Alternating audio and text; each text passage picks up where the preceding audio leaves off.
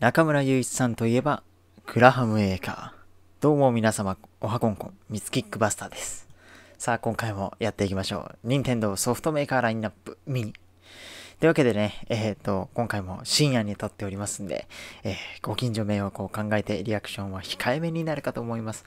まあね、それを覆してくる作品があるかどうか楽しみなんで、早速見ていきましょう。いやー、どうだろうね。結構なんか、今回のは素晴らしいというか、なかなかすごいという噂があるんですが、楽しみです。まずは、おこれはゼルダだな。な、何？誰？お、お、お、可能性があるのなら諦めないのが研究者だえ、結構喋る？忘れるでないぞあ、無双か。飛躍祭の目視録。おお。あ、いいね。やっぱ無双いいですよね。おおお。今のはボスかあなんか、そう、ブレワイの、えー、続編か。えー、続編、続編じゃないな。前の話っつってたっけなおえこういうダンジョンダンジョンっていうかマップ出てくるの？はいはい。だとしたらすごいけど。そろそろみんなに見せてあげようか。まともにあのブレワイの時ってこうはっきりと喋ってなかったんですよねみんな。うわえそんなのあんの？えそれはそれはずるいでしょ。いやでもある意味無双としてはあこいついた気がする。覚えてる覚えてるまああの僕がプレイしてたわけじゃないんですけど実況で見たことがあってこのなんか像みたいなやつはなんか敵でというかボスでいたなっていう風な感じは覚えてます。なんだすごいなあなんかこれもあったような気がする。あいたわいたわ。なんかあのビーム食らったらめっちゃ体力減るんだよね確か。ブレス・オブ・ザ・ワイルドの100年前を描いたゼルダ無双100 100年前。薬剤の目視録が間もなく発売となります。そんな前なんだ。そして本日より体験版を配信開始いあマジでたします。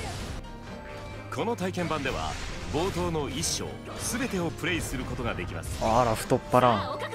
またセーブデータを製品版に引き継ぐことがああなるほどね。おおすげえ。一足お先に100年前の世界を体験してみてはいかがでしょうか。ゼル一応世界観は完全にブレワイな感じなのかな11月20日発売です。おお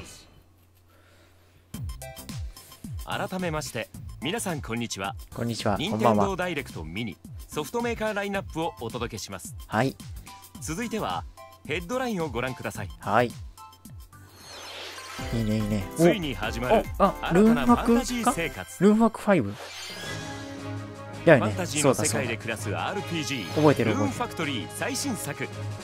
やいいよね。主めっちゃ楽しみ。ことになる警備組織シードをご紹介。えー、警備組織。この世界はルーンと呼ばれるエネルギーによって人々や自然の調まあ、よくある RPG のマナとかそういうやつですねしかしおそらく。このルーンが消失するという謎の事件が発生しこれをきっかけにシード隊員としてさまざまな事件の解決に当たることとなります。うーん。ああそういう仕掛けもあるんだね。モンスターの討伐はもちろんシード隊員専用の装備を使ってえ？モンスターを味方にしたりあマジで？すごっ。他の隊員たちと協力したりと仲間合たちとの絆をわ育みながら街の平和を守ることが重要な任務となります。ヘビー。ルーン消失の裏に潜む世界を巻き込む巨大な陰謀とは？かわいい力を貸してほしい。そしてついにん発売日が決定。来た。来た来た来た。ルーンファクトリー5はお2021ーなるほど。年5月20日に発売。5月20日。特製ビジュアルブックやど歴半代シリーズのアぐらいか。レンジアルバム CD などがセットになった豪華限定版も同時発売。いいね。さらに前作ルーンファクトリー4スペシャルが一斉トライアルに登場。マジか。任天堂スイッチオンライン加入者ならこう見るとやっぱ5期間限定で遊び放題。5めっちゃ進化してるのが分かりますね。お楽しみください。キャラの絵とかは割とそのまんまだけど。これ5楽しみだね。ギリシャの神々を救うん？英雄となれ。ん？ギリシャ神話の世界を舞台にしえた UBI ソフトの完全新作オープンワールドが登場。主人公フェ初めて知った。ニックスは広大なファンタジーの世界を走って泳いであ登って馬に乗ってこれもオープンワールドっさらにはぽい感じかな？そうだ縦よね多分横無尽に探索。あそうだよね多分。縦横無尽にってフェニックスの使う武器は3つ。オープンワールドっぽい。素早く手数の多い剣破壊力抜群の斧。おおいいね離れた敵には弓。おおこれらを組み合わせコンボをつなぐことでハイテンポなバトルが繰り広げられる。さらにさまざまな試練を乗り越え神々から新たな力を授かることでより多彩な攻撃が可能に。あそういう系か。装備の強化やスキあルの習得など自分好みのキャラクターに育てるカスタマイズ要素も充実。もう誰だよ伝説の怪物との死闘。あキルベロス。神々との出会い。神話の世界でキルベロスっていうか新たな伝説。いやキルベロスか。イモータルズ。フェニックスライジングは12月3日発売。お12月3日。本日から任天堂 e ショップで予約開始。へえいいな。オープンワールド系なかなかね楽しいです。列車を走らせ都市開発。え？線路をつなぎ街を作る。うん。A 列車で行こうの最新作が任天堂スイッチに登場。鉄道会社の社長となりあなんか懐かしい感じがしますね A 廃列車って。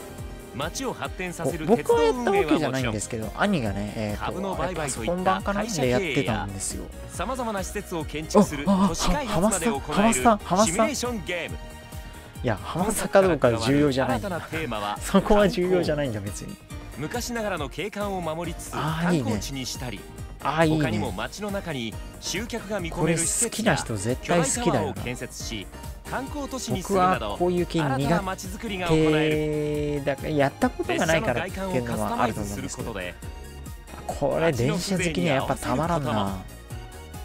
おおなんか綺麗。桜のやつか桜クリア条件を設定することでうん。オリジナルのマップを作成可能。えー、すげえ。作ったマップはオンラインで共有できる。えどのような街を思い描くかはあなた次第。ー、おお A 列車で行こう。始まる観光計画は2021年発売。えー、列車でこう。も随分画質綺麗になったもんだね。いかがでしたか？続いてはこちらをご覧ください。はいなんだまた目玉作品か。さすがは光の戦士の一人。その称号もはやわしのものではない。なんだなんだ？皆さんの勇気を一つに。ちょっとデフォルメチックな道も進もう。見た目なんだけど。後には引けないわ。なんか見覚えあるぞこれ。終わりにしよう。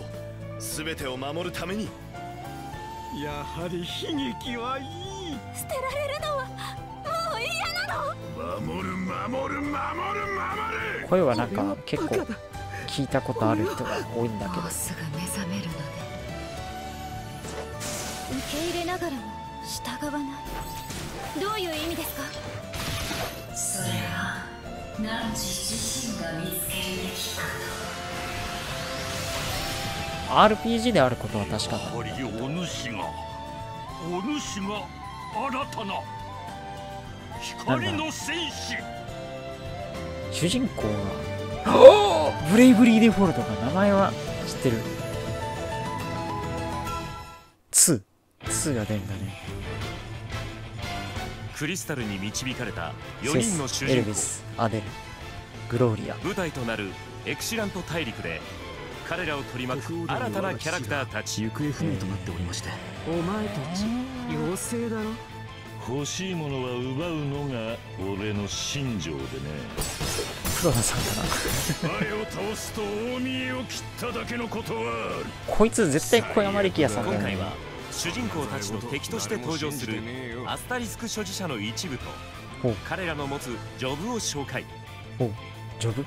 ヴァンガードのアスタリスクを持つダグ・ランページ。金もがっぽり手に入るしな諏訪部さんだな。高い防御力を生かして守り役となるヴァンガーへえド敵のヘイトを引きつけるとかありそうですね。シールドバッシュ。吟遊詩人のアスタリスクを持つオルフェ・ドラゴーディア。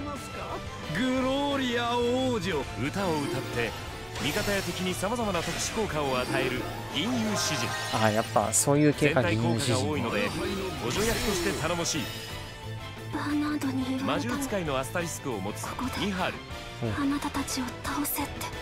魔物を呼び出して自在に操ることができる魔あの獣使い。あれだな PSO2 のサボナー的なやつか。バトル中に自分で捕獲して集めえる。マジで？そんなのありなの？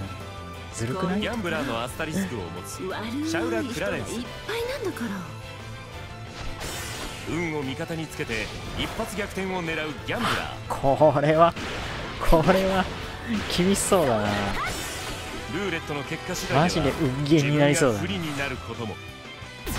あら今ご紹介したのはマジか。序盤に登場するごく一。部ってことはどんどん増えていくお届けしていきますのでねどうぞお楽しみに。はい今年の3月に配信した先行体験版ですが募集したアンケートには2万通を超える回答がありました。その中でも特にご意見の多かった難易度や操作性を中心に調整を行っています。アンケートへのフィードバック内容をまとめた映像をブレイブリーデフォルト2公式サイトで公開していますのでチェックしてみてください。そしてブレイブリーデフォルト2の発売日が2021年2月26日全世界同時発売に決定しました。本日から任天堂 e ショップで予約開始。あーなんかもうどんどんいっぱい出てくるね。すごいねなんかもう続報をお楽しみに。このワクワク感がたまらんですな。いかがでしたか？はい。引き続きヘッドラインをお楽しみください。はい見ますよ銀河系スーパーヒーローランキング開幕。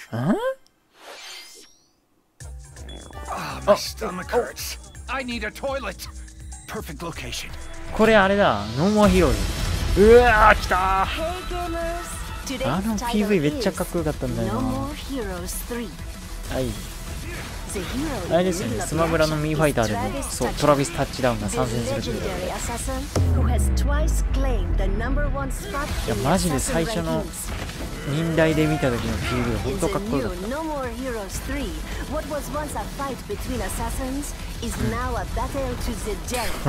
気泡 がでかすぎる。気泡がでかすぎる。極悪スーパーヒーやばい宇中心をぶっ潰せ Now, fight. 銀 Even 河 if you 分裂 haven't オラ played ガ the ンです prequels, it's awesome. But it's お even それ more はありがたい awesome if you play the prequels first. 過去作を遊んでいた Welcome マ to ジ the 最高 Garden of Madness. Bring it on. I'll give you a little kiss.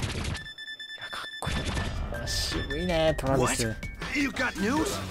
Does it have to be like now? おおいいね The first No More Heroes is getting ported to Nintendo Switch.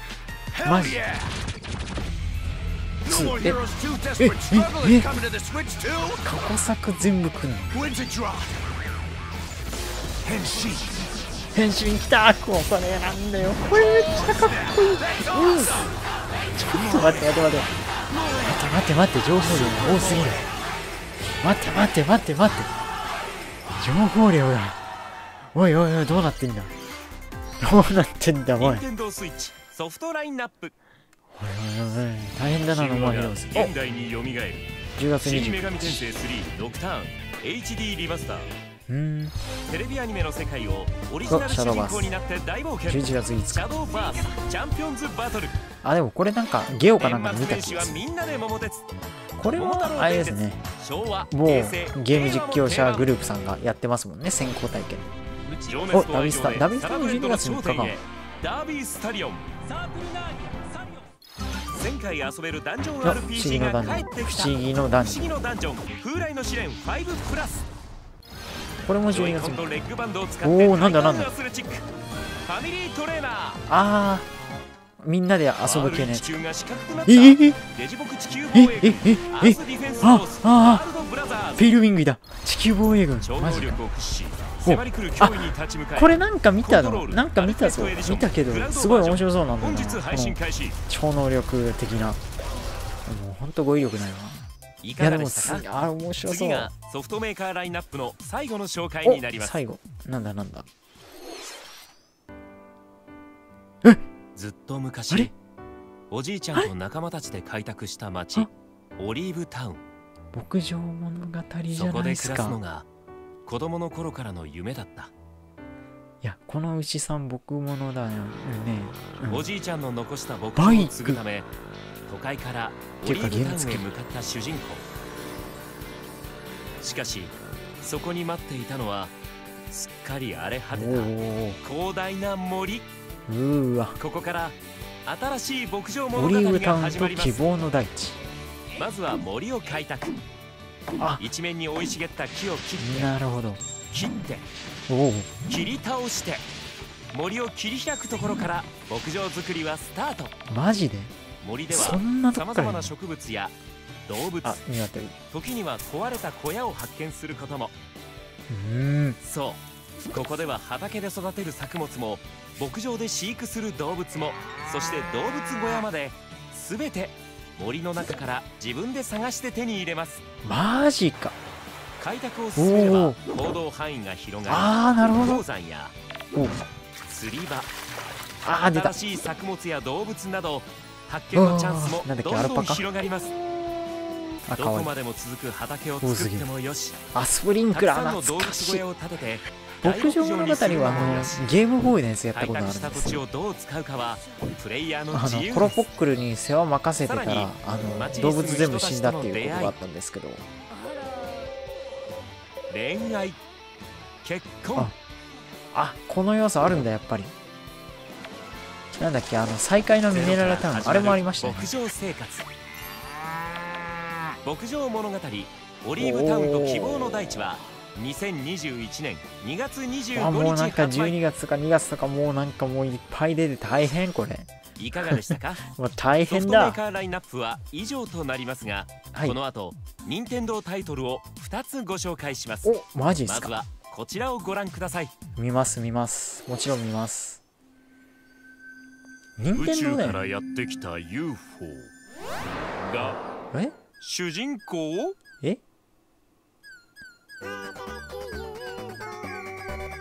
ええ何その柔らか戦車みたいな。あーゆ自るい。ゆるいすんごいゆるい地この雰囲気。お手伝い。あお手伝いすんの？めっちゃいい雰囲気じゃん。ああアイスてかパフェ。ああかわいいかわい。いお城の建築まで。なんかかわいいぞすごいかわいいぞこの UFO 目的地に運ぶだけでもクリアになりますが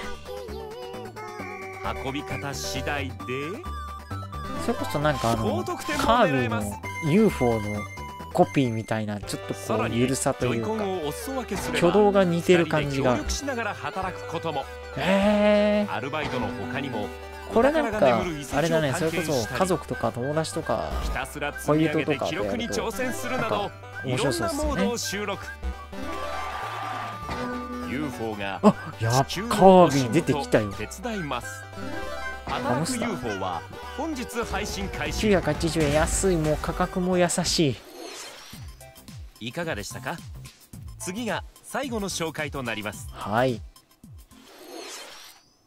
これが警官だった父に憧え？れ同じ道を歩む主人公これが大本命あ木村良平さん。いある事件をきっかやけにそこじゃなくて。不思議な首のあざに遭遇する。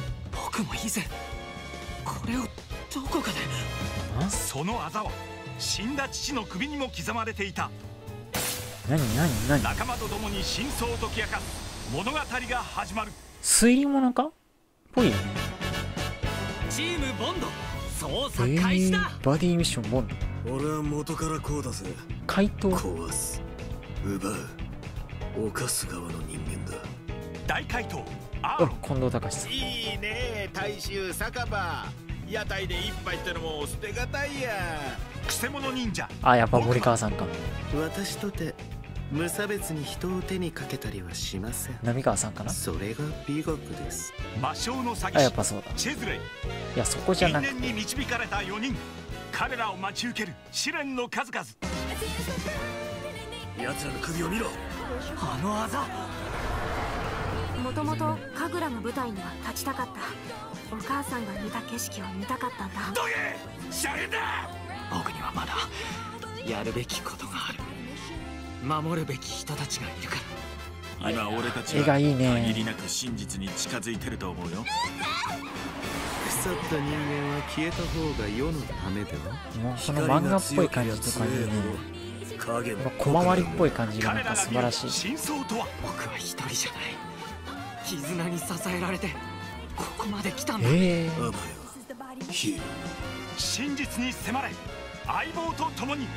なになになになに面白い。あーアイシールドの人か。なるほど。ボンド。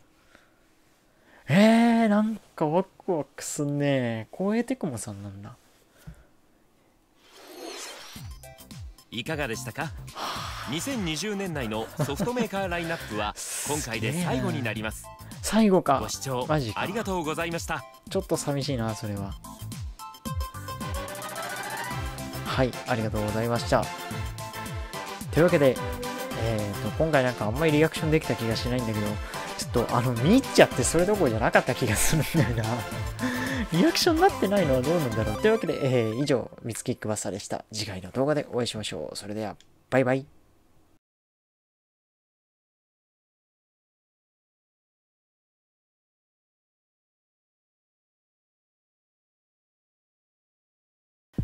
最後までご視聴いただきありがとうございました。お帰りの際は画面下のチャンネル登録ボタンを押してください。あるいは高評価やコメントよろしくお願いいたします。次回の動画でお会いしましょう。バイバイ。